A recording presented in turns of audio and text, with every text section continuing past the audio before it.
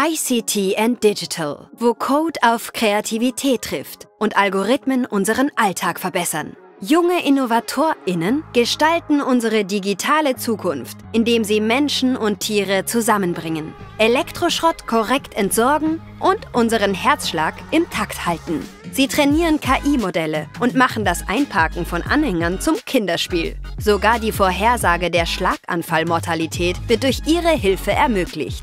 Hier sind die Top 5 Projekte in der Kategorie ICT and Digital. Fünf Schüler des TGM in Wien haben im Rahmen ihres Diplomprojekts die Plattform Collect E-Waste entwickelt, die die konkrete Entsorgung von Elektroschrott erleichtern soll. NutzerInnen können auf der Plattform ihre Elektronikprodukte und Komponenten einstellen, um sie fachgerecht entsorgen oder sogar recyceln zu lassen. Wir setzen uns dafür ein, den Kreislauf von Elektroschrott zu durchbrechen und einen neuen Standard für Nachhaltigkeit zu setzen. Schüler der HTBLA Grieskirchen haben mit ihrem Projekt Document Dataset Synthesizer eine künstliche Intelligenz bei der Datenextraktion unterstützt. Das System generiert künstliche Dokumente, um der KI das richtige Auslesen von Daten beizubringen. Das Unternehmen Optadata profitiert von diesem innovativen Ansatz. Dieses Projekt ermöglicht es, Bilddokumente in beliebiger Variation, in beliebiger Anzahl zu generieren. Zusätzlich wird auch der textuelle Inhalt jedes Bildes gespeichert, damit Sie sich keine Sorgen mehr über Datenvollständigkeit machen müssen. Drei Schüler der BHAK BHAS Feldkirch haben HeartChart entwickelt. Ein mobiles Gerät, das den Herzrhythmus einer Person messen kann. Die Daten werden über Bluetooth ans Handy gesendet und binnen 10 Sekunden ausgewertet. Es ist kompakt, kann in eine Handtasche passen und ermöglicht die Früherkennung von Arrhythmien.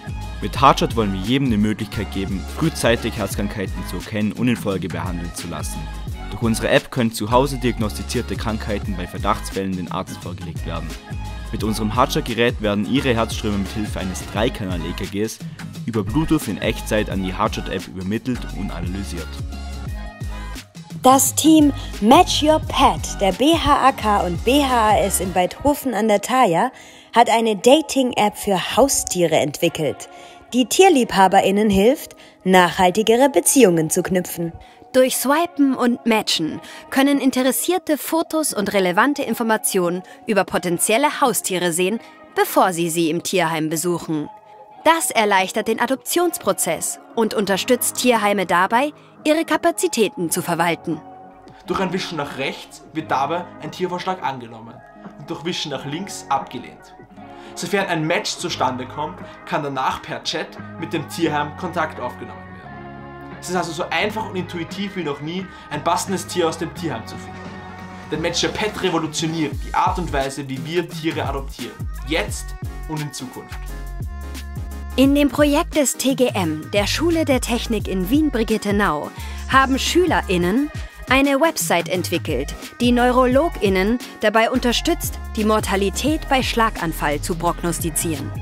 Der nächste Schritt des Projekts wäre die Implementierung in den Krankenhäusern, also dass die Ärzte auch die Website selbst zur Verfügung bekommen und beigebracht bekommen, wie man diese effizient nutzt. Das Diplomprojekt Trailer Buddy der HTL Mössinger Straße in Klagenfurt entwickelte ein digitales Einpacksystem für Anhänger. Fünf Außenmodule messen den Abstand zum Umfeld und zeigen akustisch und visuell an, wenn man einem Objekt zu nahe kommt. Der Trailer Buddy ist ein innovatives Einparkhilfesystem, das eben wie so ein Einparkgebüse beim Auto aufgebaut ist. Es besteht aus einzelnen Messmodulen, die man an dem Anhänger anbringen kann, und zwar magnetisch.